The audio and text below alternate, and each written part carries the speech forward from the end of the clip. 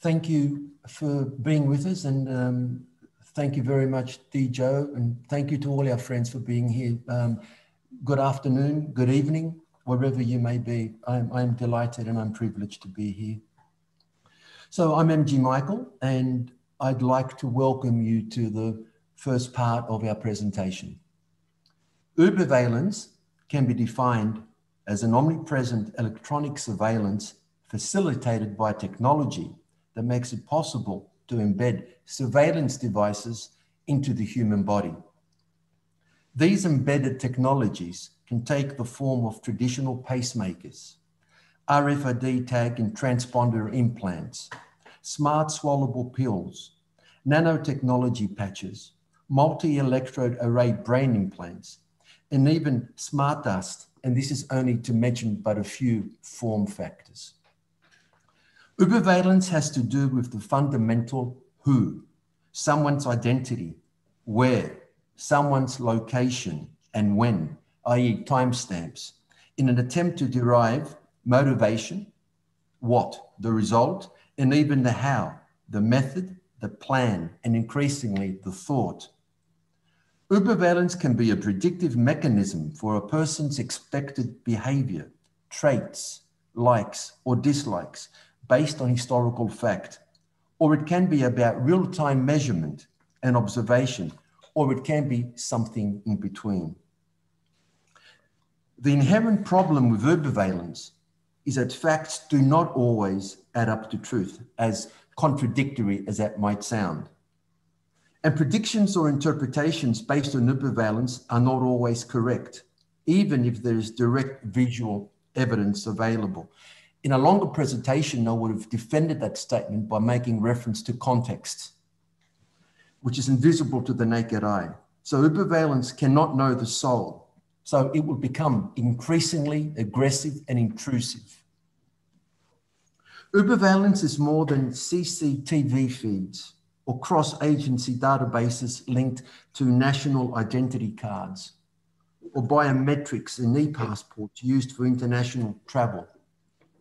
Uberveillance is the sum total, it's the summa of all these types of surveillance and the deliberate integration of individuals' personal data for the continuous tracking and monitoring of identity, location, and point of view in real time.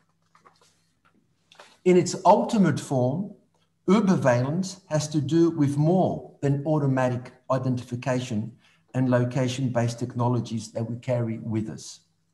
It has to do with an under the skin technology that is embedded in the body, such as microchip implants. And of course, that technology is continually evolving. Think of it as Big Brother on the inside looking out.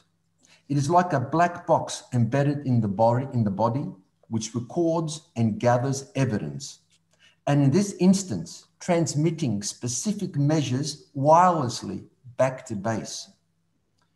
This implant is virtually meaningless without the hybrid network architecture that supports its functionality, making the person a walking online node. We are referring here to the lowest common denominator in the definition, the smallest unit of tracking, presently a tiny chip inside the body of a human being or an animal or, or a thing. But it should be stated that electronic tattoos and nano patches that are worn on the body can also certainly be considered mechanisms for data collection in the future, whether wearable or bearable or even insertable. It is the intent and objective which remains important. It is the notion of people as sensors the gradual emergence of the so-called human cloud, that cloud computing platform which allows for the interworking of human points of view using wearable recording technology will also be a major factor in the proactive profiling of individuals.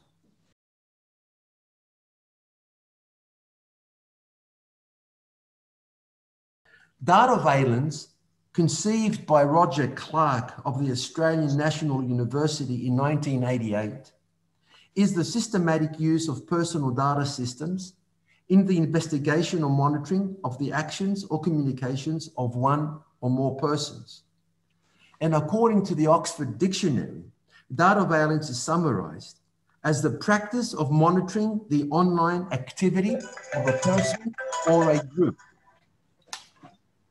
It is hard to believe that this term, dataveillance, was introduced a quarter of a century ago in response to our government's agency, to, our, to government agency here in Australia, that sought to data match initiatives linking taxation records and social security benefits, among other commercial data mining practices. At the time, it was a powerful statement in response to the Australia Card proposal in 1987, which was never implemented, despite attempts to introduce an access card almost two decades later in 2005. The same issues ensue today, only on a more momentous magnitude, with far more consequences and advanced capabilities in analytics, data storage, and converging systems. The implications are, are, are, extremely more severe given the ubiquity of these surveillance technologies. Sousveillance, conceived by Steve Mann of the University of Toronto in 2002, but practiced since at least 1995, is the recording of an activity from the perspective of a participant in, the, in that activity.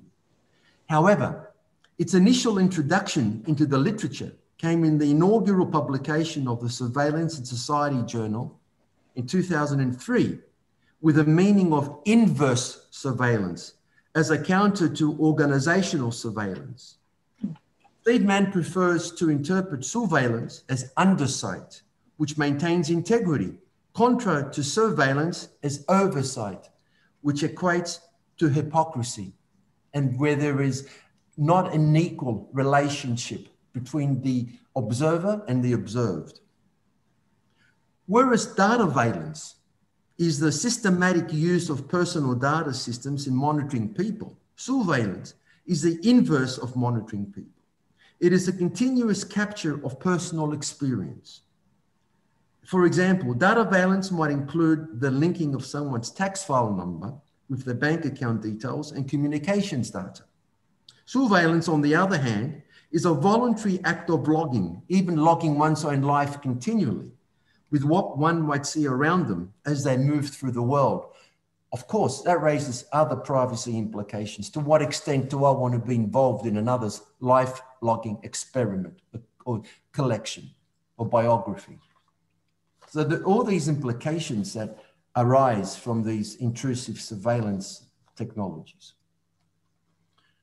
Surveillance is thus considered watching from above, whereas sousveillance is considered watching from below. In contrast, dataveillance is the monitoring of a person's online activities, which presents the individual with numerous social dangers. I conceived of uberveillance in a postgraduate class uh, I delivered at the University of Wollongong in 2006. Today, now I did this after being prompted by my marvelous students to describe what I felt was happening with these intrusive surveillance technologies. And I, I could not think of a term or a word that adequately expressed what I was feeling or seeing. Big Brother didn't quite cut it for me. I wanted something that internalized the surveillance. And um, uberveillance came to my mind, which um, had a, a, a history in my thinking going back to literature to philosophy and my reading of apocalyptic literature. And I've documented, documented all that in other papers if you're interested. So there was certainly a background to how the term dropped in that day, a whole history. So today it is commonly defined as ubiquitous or pervasive electronic surveillance that is not only always on, but always with you, ultimately in the form of bodily invasive surveillance. The term itself entered the Macquarie Dictionary of Australia officially in 2008. And I was happy to see very close to how I had originally defined it. So I was happy with the result here. So it's defined as an omnipresent electronic surveillance facilitated by technology that makes it possible to embed surveillance devices in the human body. I was particularly happy that the definition allowed for some elasticity to the definition, allowing for new innovations and new technologies which were aligned or married to surveillance technology. The concern over uberveillance is directly related to the misinformation, misinterpretation, and information manipulation of citizens' data. That is, we can strive for omnipresence through real-time remote sharing and monitoring, but we will never and can never achieve simple omniscience. And this is why these technologies will become more aggressive as they try to reach that, that divinity, if I can call it that, but it just can't happen because that would mean depth charging into the soul. And that's why I made that distinction between um, truth and facts and the importance of context. Uberveillance is a compound word conjoining the German über, meaning over or above, French um, veillance, which more literally translated means is watchfulness. The concept is very much li linked to Nietzsche's vision of the Übermensch, who is a man with powers beyond those of an ordinary human being, like a superman with amplified abilities.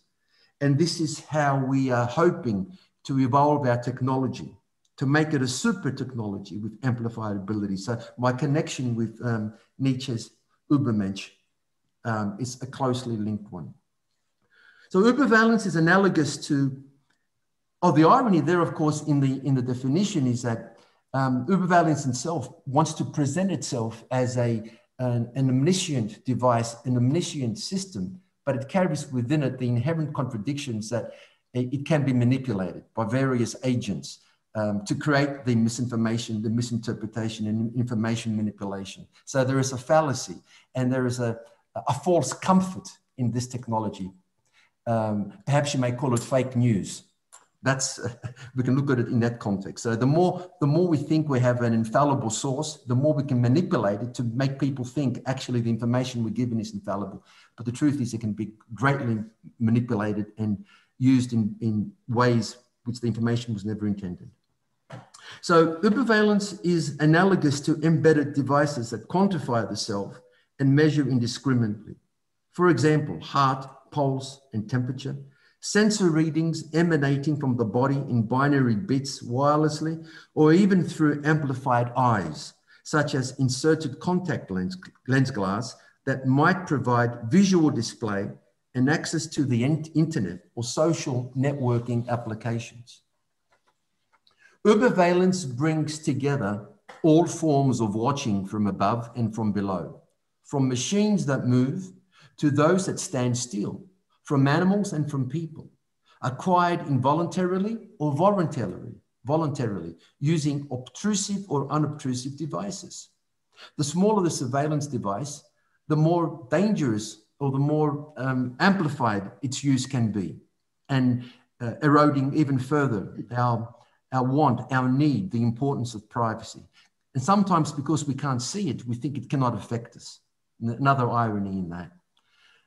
Um, the network infrastructure underlies the ability to collect big data analytics and ensures an interpretation of the unique behavioral traits of the individual, implying more than just predicted movement but trying to imply or to suggest intent and thought. It has been said that uberveillance is that part of the veillance puzzle that brings together the soul, the data, and the soul to an intersecting point. In uberveillance, there is the watching from above component, soul.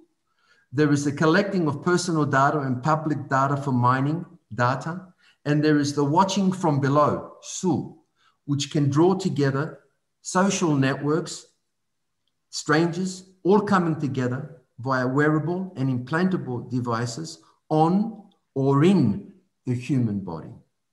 Uberveillance can be used for good, but we contend that independent of its application for non-medical purposes, it will always have an underlying control factor of power and, and authority. And these are the the, the questions, the implications uh, that define our work and our research to try to come to some sort of understanding of how it can be used, what are the dangers, and how, how we can publicly share and analyze these dangers for the public and with our colleagues.